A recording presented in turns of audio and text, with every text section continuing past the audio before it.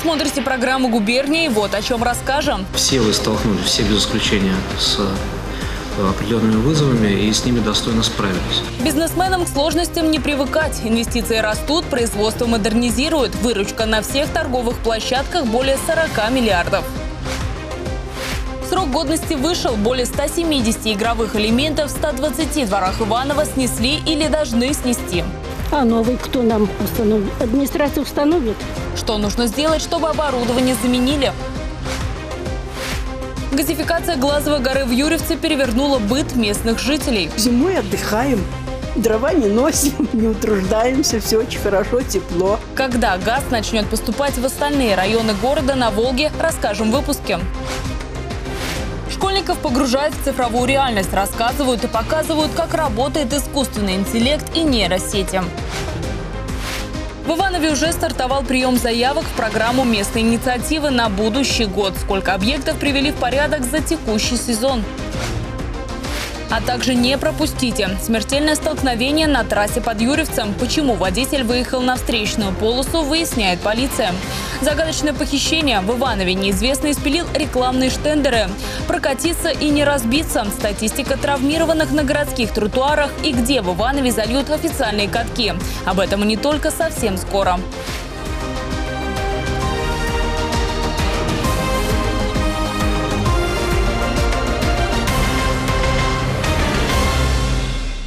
Сейчас об этих и других событиях подробнее. В студии Алина Марчева. Здравствуйте. Год был непростой, но интересный. Глава региона встретился с членами общественной организации «Деловая Россия». Отметил, что ивановский бизнес с мировыми вызовами справился, нарастили инвестиционные проекты. Я сейчас эту цифру назову. У нас по данным Росстата за 9 месяцев прирост инвестиций в основной капитал составил 24,7%. То на четверть в Ивановской области приросли инвестиции в основной капитал. Инвестиции в производство увеличились на четверть. Ивановский бизнес адаптировался к реалиям. За 11 месяцев выручка на всех торговых онлайн-площадках превысила 40 миллиардов. Члены общественной организации «Деловая Россия» встретились с губернатором области Станиславом Воскресенским на площадке фирмы «Спанлаб». Репортаж Ирины Афониной. Отечественной экономике, в том числе и региональной, к потрясениям не привыкать. В нынешних условиях бизнес должен не просто выжить, но и нарастить показатели. Добавим, несмотря на то, что работа в условиях санкций не в новинку, этот год показался предпринимателям самым сложным. Нас сложно э, обвинить или заподозрить в нерешительности. Мы всегда э, инвестировали как-то довольно э, спокойно, довольно активно и никакие кризисы нам были ни по чем. Глава региона подтвердил, с вызовами ивановский бизнес справился. Наше предприятие о чем это говорит? Быстрее остальных смогли перестроиться, найти новые каналы сбыта, новые каналы заработка. Это достойно уважения. Фонд развития промышленности утвердил практически все заявки ивановцев. На областном уровне поддержали льготными кредитами, отсрочили страховые платежи, выплату налогов на имущество ряду предприятий, нарастили инвестиционные проекты. По данным Росстата, за 9 месяцев текущего года прирост инвестиций в основной капитал увеличился почти на 25%. Наши компании, прежде всего из легкой промышленности, наверное, быстрее всех в стране адаптировались к новым технологическим реалиям, к торговле онлайн прежде всего. И вот последние свежие цифры, я их сейчас тоже назову, за 11 месяцев на различных площадках э, онлайн э, предприятий из Ивановской области выручка их составила свыше 40 миллиардов рублей. 40 миллиардов. Кто бы мог подумать еще об этом три года назад. По этому показателю регион занимает третье место в стране после Москвы и Московской области. Встреча предпринимателей проходила на площадке фирмы «Спанлаб». Основана была в 2014 году. Напомним, это был год первых санкций. Предприятие специализируется на выпуске нетканых материалов широкого назначения. Нетканые материалы производят по технологии «Спанбонд». Используются в строительстве, медицине, в сельском хозяйстве. Буквально года два назад фирма в условиях пандемии нарастила выпуск продукции для изготовления медицинских изделий. Наша компания является одним из ведущих производителей нетканого полотна в Центральном федеральном округе с производительностью более 10 тысяч тонн полотна в год. В прошлом году модернизировали сразу две линии, повысили производительность труда и качество продукции. Объем продаж у нас увеличился, наверное, ну, 20-25% Э, приобрели, приобрели новых э, клиентов. Главе региона участники встречи задали вопрос, что дальше? Будут ли поддерживать и федеральное, и региональное правительство экономику? Станислав Воскресенский призвал не волноваться, настрой всех вполне решительный. Ирина Афонина, Денис Железов, телекомпания «Барс». Кинешемский завод «Поликор» увеличивает объемы выпускаемой продукции. Эти изделия требуются предприятиям, работающим по гособоронзаказу. Поликор – одно из старейших предприятий страны по производству огнеупорных изделий и материалов. Специализация завода – это выпуск подложки, которая применяется в радиотехнике. Часть продукции уникальна и больше нигде в России не производится. Губернатор в ходе своего визита в Кинешму обсудил с руководством Поликора ближайшие планы. Здесь уже увеличили производственные мощности за счет оборудования нового участка механической обработки. Продолжается строительство еще одного. Завод набирает еще сотрудников, проводит их обучение. По итогам года в развитие здесь инвестировали более 150 миллионов рублей. 100% продукции, которая изготавливается на Поликоре, идет на предприятие оборонно-промышленного комплекса. По словам директора Бориса Морозова, завод намерен выполнить задачу президента и увеличить в следующем году в полтора раза производство по гособоронзаказу. В чем сила, брат? Ответ на этот вопрос теперь знает шуйские сицы. Предприятие выпустило ткань с уникальным принтом на тему фильма «Брат». Над необычным проектом компания работала вместе с художницей по костюмам Надеждой Васильевой, вдовой кинорежиссера Алексея Балабанова. Это комплект для одиночки, странника, который шагает по миру, ночует где придется, спит на земле, в подвале, накрывается Данилой, пишет в своем телеграм-канале художница. Над проектом Васильева работала вместе со своими друзьями. Крой сняла Рита Малыгина, принт разработала Светлана Герасимова. Шуйские ситцы выбраны не случайно. Художница давно с ними знакома и не раз использовала шуйские материалы для создания костюмов. Эта ткань пойдет на постельное белье и пижамы. Их выпустят ограниченным тиражом, будут продавать на выставке про Балабанова «Все в кабеле» к Новому году.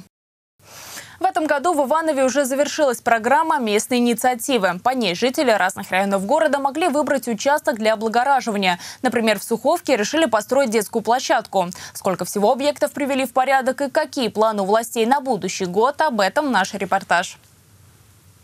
Старая площадка, на которую без страха не взглянешь. Так жители Суховки отзываются о том, что было во дворе до ремонта. Спортивные элементы просто устарели, а поставить новые – дело затратное. Тогда и пришла идея поучаствовать в программе местные инициативы. Придумали проект, выставили родной двор на голосование. Очень много людей принимали участие в голосовании, то есть мы голосовали за эту площадку для того, чтобы выиграть.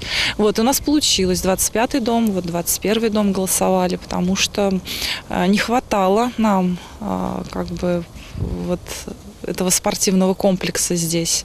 Поэтому мы очень счастливы и довольны, что у нас это получилось. Победа принесла чуть более двух миллионов рублей. Большая часть – это региональные средства. Все остальное – городской бюджет, деньги по наказам избирателей. И сами жители микрорайона вложились.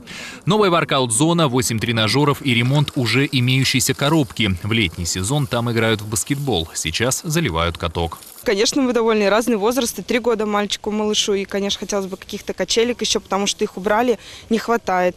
И в то же время вот старшие уже хотят на каток, уже просятся.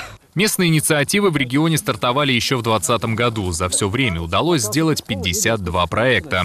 Спортплощадки, парки, скверы, дороги и тротуары. В этом году строительный сезон закрыт, однако заявки власти принимают уже на будущий год. Мы видим, что интерес э, у жителей города самый большой к этой программе.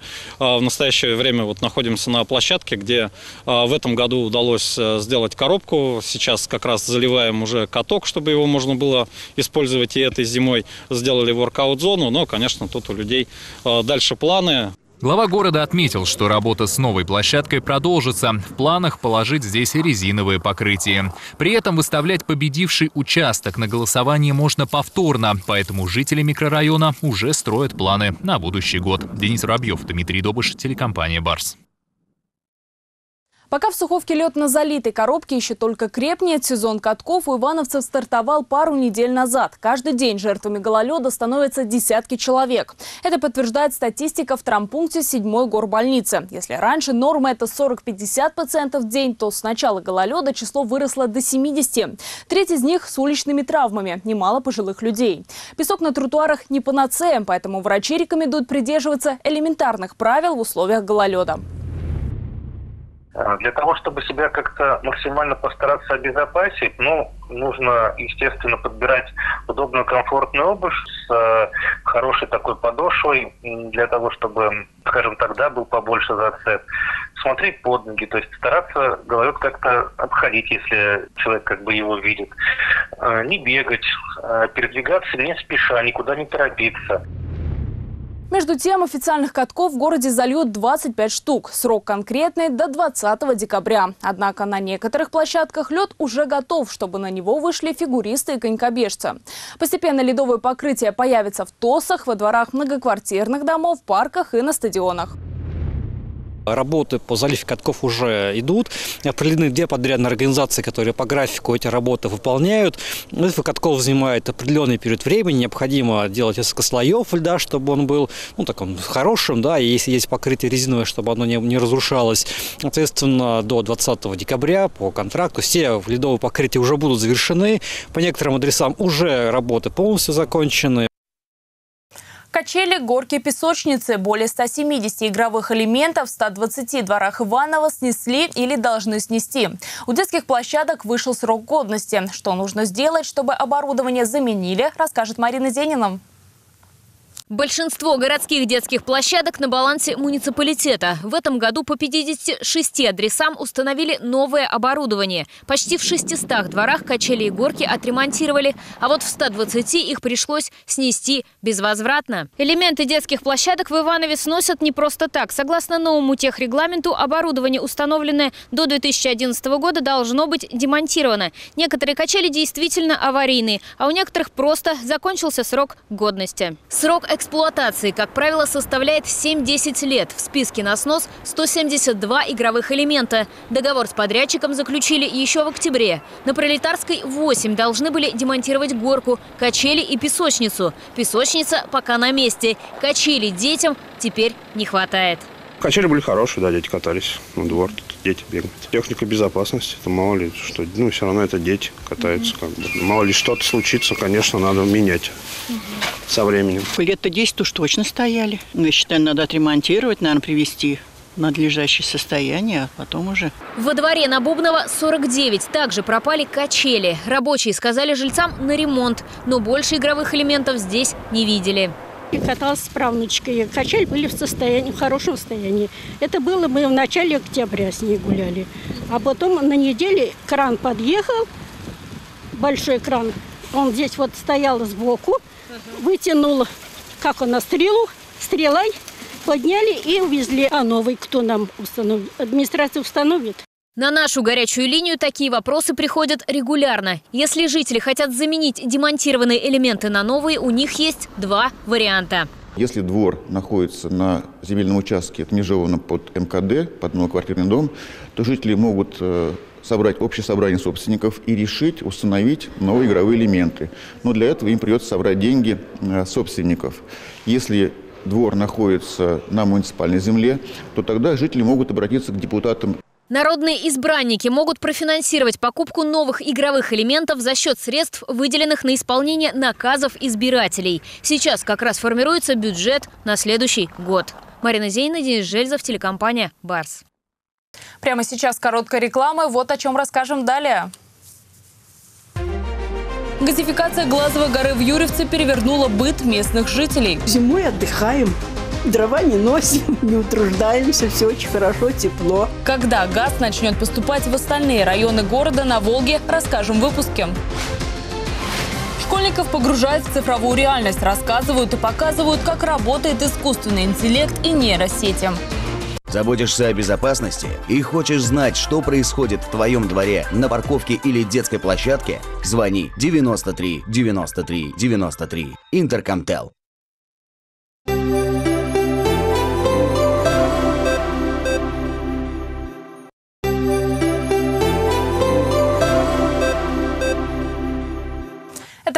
«Губернии». Мы продолжаем. Житель Ивановской области планировал принять участие в боевых действиях против вооруженных сил России. Его задержали в аэропорту.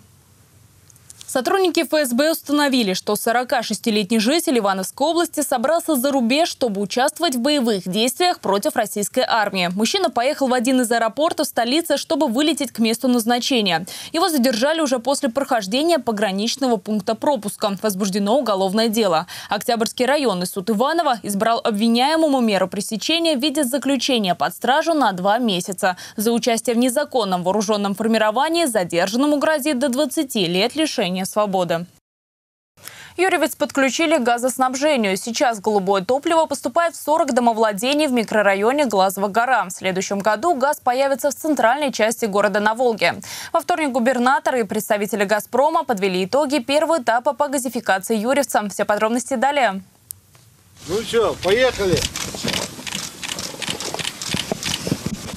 Все, сейчас Это историческое событие в жизни города на Волге. Его ждали почти два десятилетия. Газораспределительная станция «Юрьевец». Голубое топливо идет сюда из Пучежского района. Там проходит газовая магистраль.